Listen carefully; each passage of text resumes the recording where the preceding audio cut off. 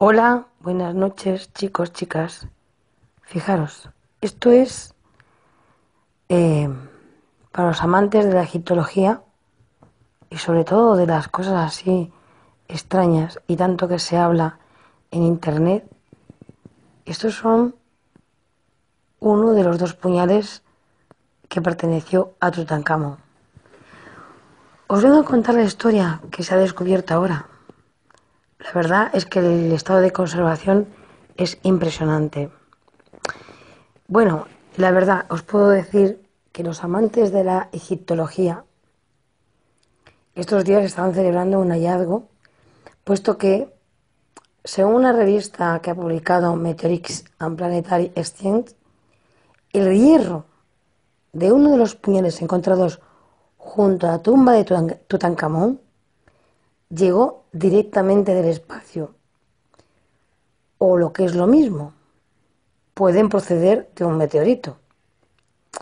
Veréis, el hierro de los puñales siempre ha sido eh, objeto de estudio y misterio, por lo tanto, no se, no se encontraba indicios que el hierro fuera el típico metal que, que se utilizaba en, el antiguo Egipto.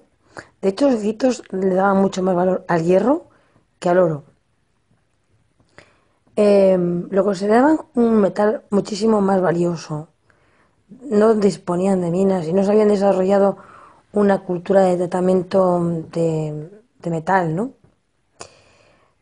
Entonces, ¿qué pasa? Que por ello la hoja de este puñal es un ejemplo fuera de lo normal Fijaros que Tutankamón murió súper joven.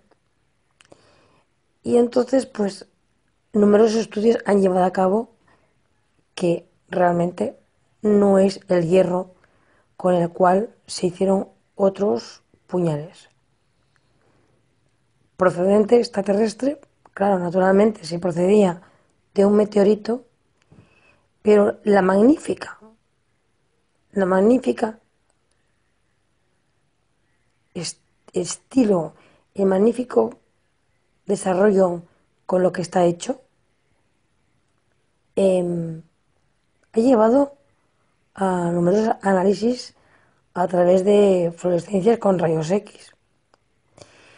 Y entre el grupo de científicos italianos y egipcios han confirmado que la composición de este hierro tiene concentraciones totalmente distintas de cobalto y níquel en un porcentaje a un porcentaje típico procedente de meteoritos, es decir, que no es un, hierro normal procedente de una fundición.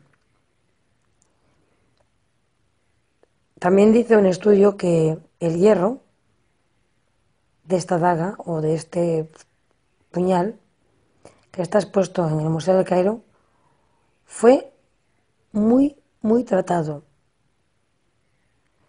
Lo que ratifica que en el antiguo Egipto los trabajos con el hierro eran magníficos y espectaculares. Espero que os haya gustado.